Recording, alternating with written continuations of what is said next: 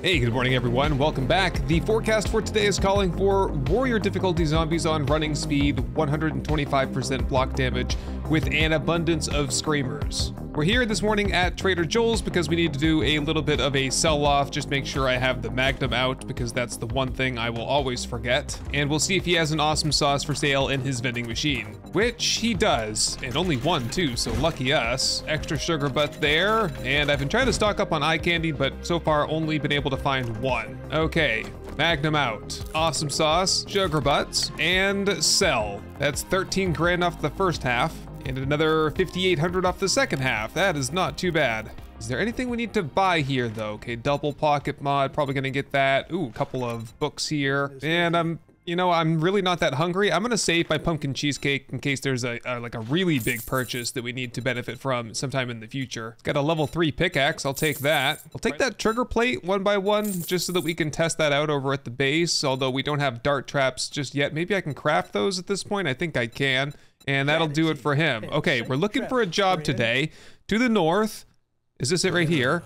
Nope, KLZ radio station. We want to go to the bear den. Doggos? No, that's not the one. Bob's, Boars, Carl's corn. We're getting all the animals that we don't need. Pop's, Pawn, and Bell's Bakery. That's right next door, but not quite the one. And the McMillan residence. Okay, skunked. Well, I guess we got to take some of these jobs anyway. Okay, and that gives us jobs kind of all over the place. Is this yeah, one of these over here is is the bear den. We gotta go there first so I can get some testosterone so that we can then make a cigar at some point. Okay, this is the neighborhood right here. We've got Aldo's cabinet, we got the bakery, and the bear den down at the end. And somewhere inside here is exactly what we're looking for, testosterone. And then we'll have to, ooh. we're gonna also need some plant fiber, and I was thinking for a second we could try and use the lawnmower for that. Um, yeah, I'll have to see if I can get the uh, lawnmower tractor accessories is that no it's the crop protector crop harvester grass collector mod oh it's a vehicle mod oh you need a specific schematic for that too okay well maybe we won't do that but that would be very handy if I could. All right, zombies are not too terribly difficult today, but we're getting to the point where we might start seeing an abundance of ferals inside. Okay, rooftop is clear. Yep, that's the prize right down there. If memory serves, yes, there's the bear right there. One of them at least. Do we get two today or is it just the one? Let's just pull him over. We'll do this one by one. Ah, yes, of course he's stuck in the cage there. Whoop. Mr. President, get down! And that should be good. Testosterone, please. There's one. Do we get... Yeah, we get two, I guess. I figured I would need some kind of a harvesting skill to do that, but... Oh, yes, and we've got the other one now. Yeah. Oh, jeez. Oh, I'm going for a ride today. I didn't expect him to burst out of there. There we go. Okay, and why do we have a spider around here? Where did you come from? Was there a wandering horde all of a sudden? No, we just had some random zombies over here. Where did you guys come from?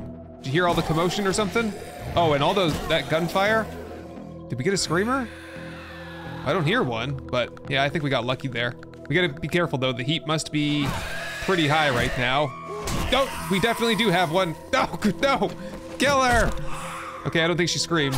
Okay, all is quiet. Let's get back inside. Okay, here's the main loot. I was just in the bathroom over there and I pulled out my third toilet pistol that I've found so far. And also I think my second hunting knife, to toilet hunting knife and a blueberry pie there. We're not particularly hungry though. Okay, let's crack into the rest of these chests and see what we can find. Probably a level five spear, knowing my luck.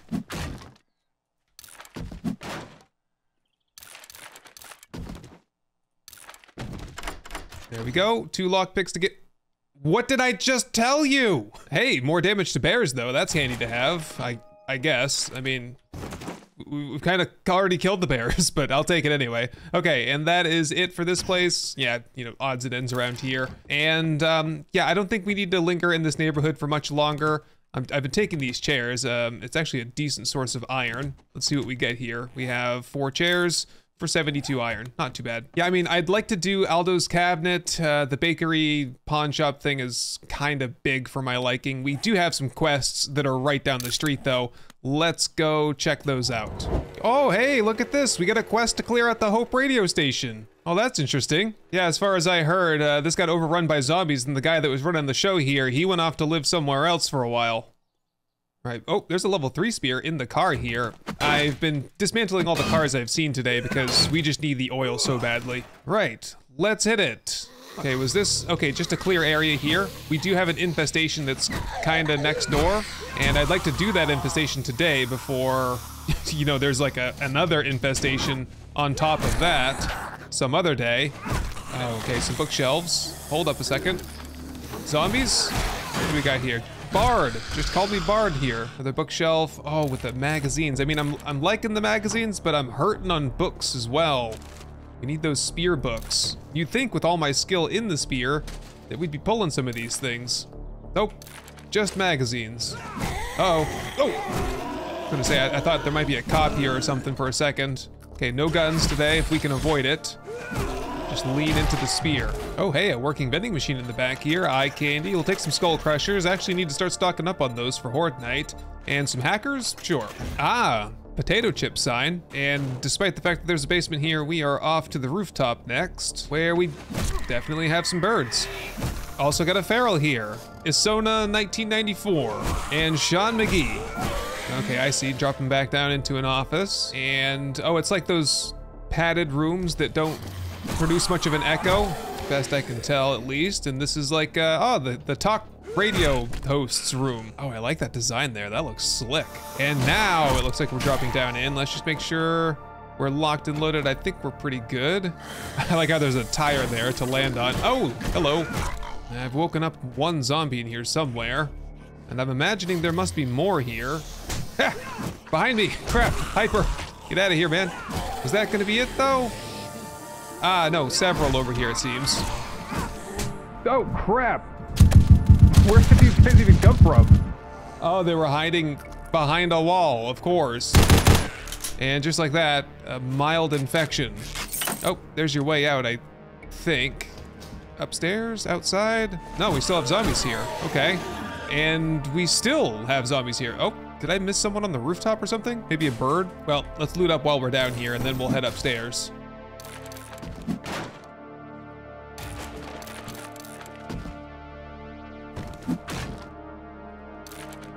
And in the main chest, um, not, not good stuff. Okay, whatever.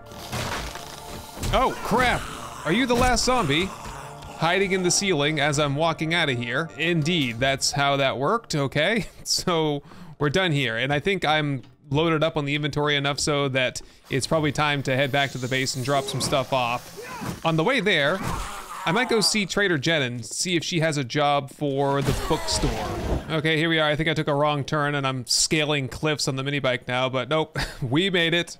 All right, let's go check in with Trader Jen. Yesterday we finished off the tier ones, and so now we have unlocked the tier twos. Fingers crossed that's going to be good for the cracker book that we did a couple weeks ago. What are you buying Survey says no. She does not have it. Okay, bit of a wasted trip, but we got to do that kind of stuff if we want to get that quest. All right, let's go home and just drop off all of our gear and see how much time we have left after that. I don't know if we can get to another quest today or if we should just focus on some resource harvesting for stone and clay and things to make cobblestone and cement.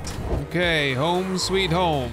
Not your home. You get out of here. In fact, it kind of looks like we had a big horde that wandered through here because there's like 15 zombies at the end of the road there.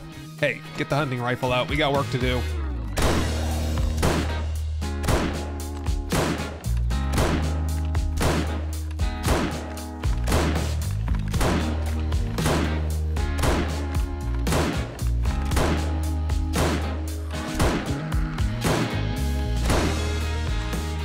That's it. All right, we've got a nice trophy for our expedition today. We'll set this on the floor.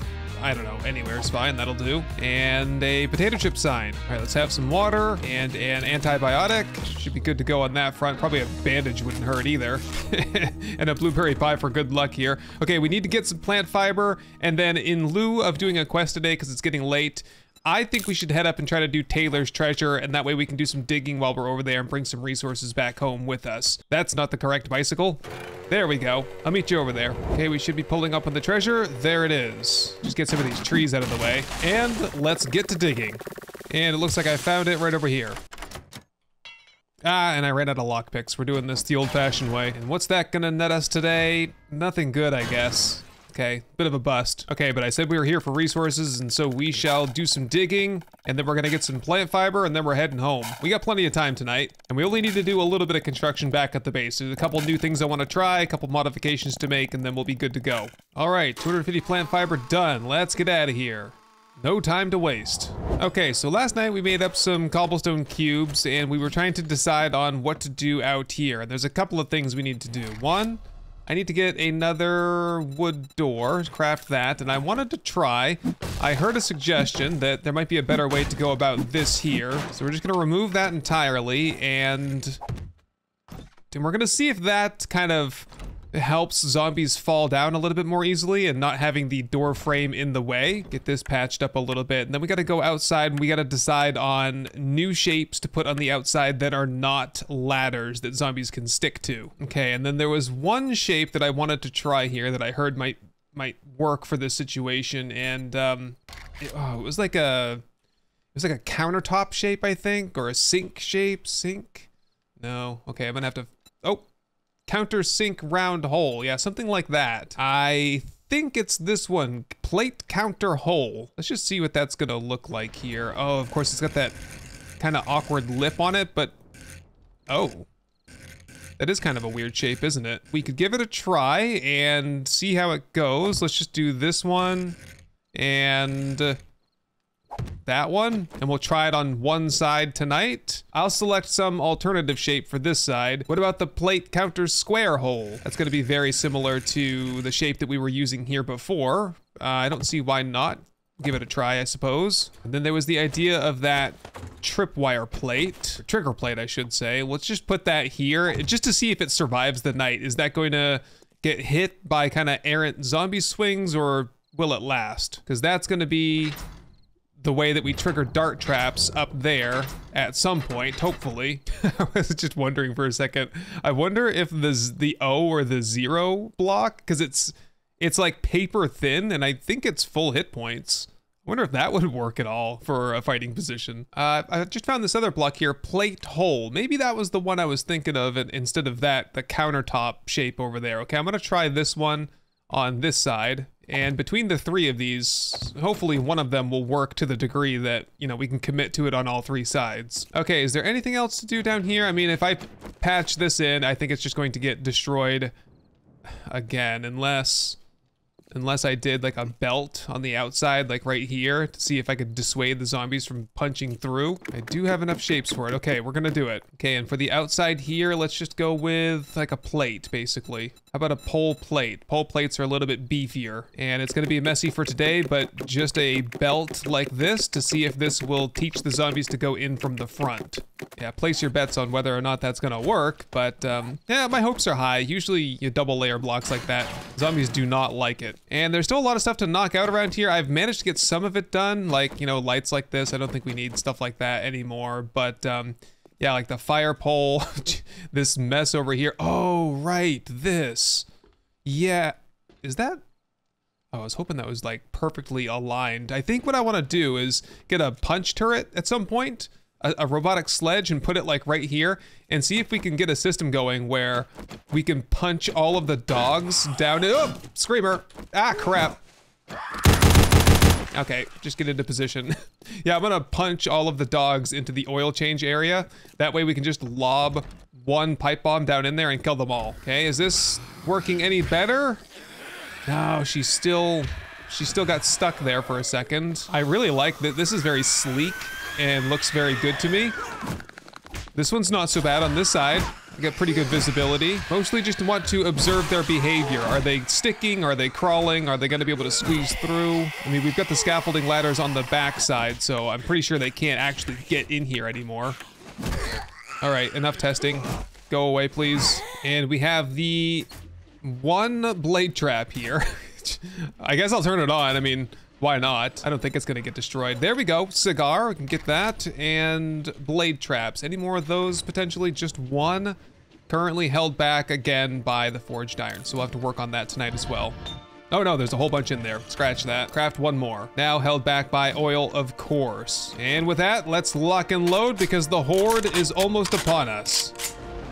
Looks like another dog dominant horde. Kind of can't wait to get my robotic sledge now. I think that's going to be a great idea. And the zombies, they're looking a little bit more tanky tonight. I don't think they're dying as frequently to the blade trap as they were last night. Huge cluster of dogs down there already. Let's try one pipe bomb for them and see if that helps. Thin them out a little bit. Uh, I don't think so. I think it pretty much requires two right now. There we go.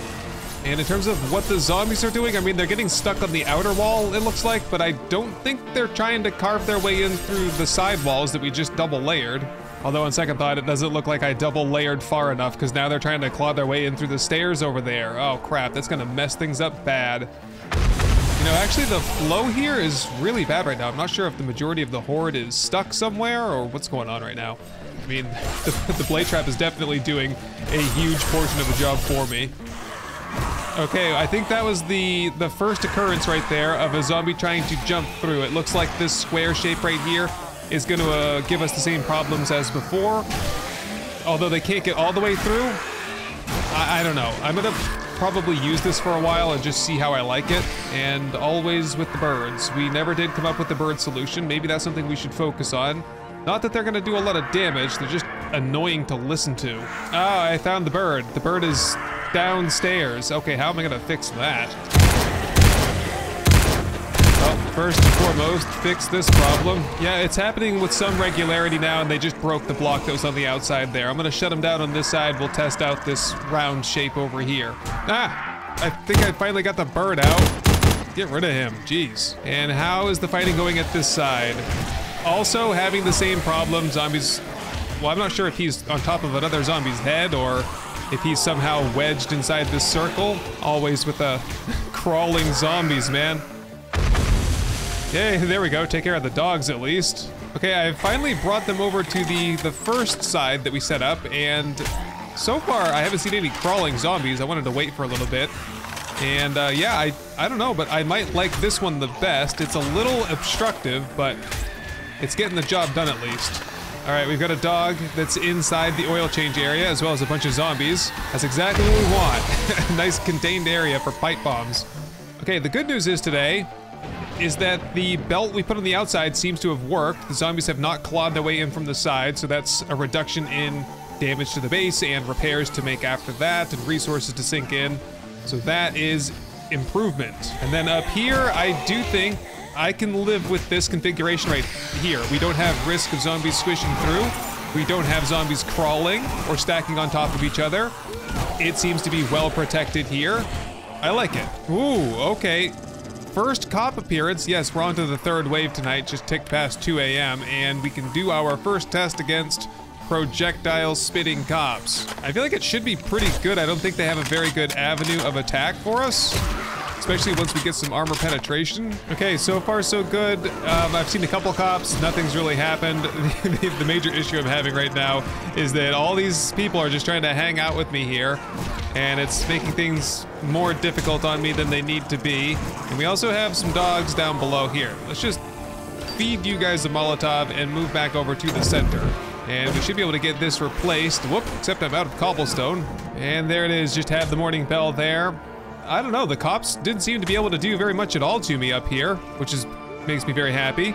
Makes me feel a little bit more comfortable and safe. So at this point, we are just playing the cleanup game. Let's just clear out the zombies, and then I'll toss a Molotov down for the dogs. All right, here we go. This is it. Ah, caught myself on fire. How typical. Guess I'll go pipe bombs instead. That was working for me all night long, and then when it really counted there at the end, caught myself on fire. All right, I imagine we can just get on ground level here, and whoop, get these guys in front of me for a which is probably gonna call in a screamer. Oh no, we've got a couple more down here in the pit. Here, silenced weapon, generate less heat. And good, we're done. Let's quickly loot up the loot bags before a screamer does come in. Starting to pull out some iron armor, which is excellent. We'll get switched over to that today. And I do believe that was it, but geez, someone called a cleaning crew. What a mess we've got here. Okay, damage assessment. They did not claw their way in through the sides other than some of the zombies that were inside try to claw their way out for some reason. They did do this, and I think if we continue, the pole plate system, beltway, all the way around, that will be prevented. Okay, in terms of loot bags, we did pull a level 2 fire axe, which is good. We have iron leg armor, iron helmet, and iron boots. We'll get those switched over. And this model 1887, a tier one, it looks like a lever action shotgun. I definitely want to give this a try. Tommy, aka Queen Bee, I'm gonna test this out on you, buddy. Oh yeah, that is cool. Let's just compare stats to the Saiga, which is 9.6 damage per pellet for 10 pellets. This one is 11 damage per pellet for 10 pellets. Okay, so significantly better, especially if we get a mod onto it. Yep, up to 11.8. Okay, so we got a new primary shotgun for Horde Night. All right, my friends, I am going to get things cleaned up, get the inventory stuff put away, and come up with a plan for tomorrow, get the armor switched over. But thank you very much for joining me on my adventure today, and I will see you hopefully in the next one. Hey everyone, I just wanted to say thank you for watching, for leaving a like, but most of all, thank you to the long list of amazing supporters that you see right here. I hope this episode has earned your subscription, and I can't wait to show you the next one. Best wishes to all, and goodbye.